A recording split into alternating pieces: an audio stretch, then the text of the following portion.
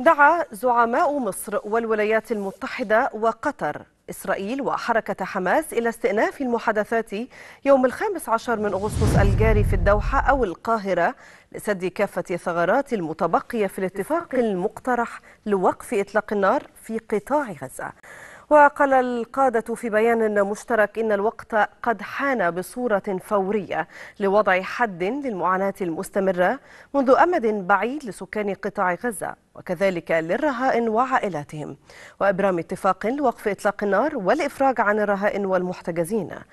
وأضاف البيان أن زعماء الثلاث سعوا جاهدين على مدار عدة أشهر للتوصل إلى اتفاق أو إطار اتفاق مطروح حاليا على الطاولة.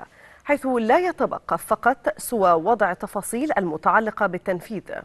مشيرا إلى أن هذا الاتفاق يستند إلى المبادئ التي طرحها الرئيس الأمريكي بايدن في مايو الماضي وتمت المصادقة عليها في مجلس الأمن.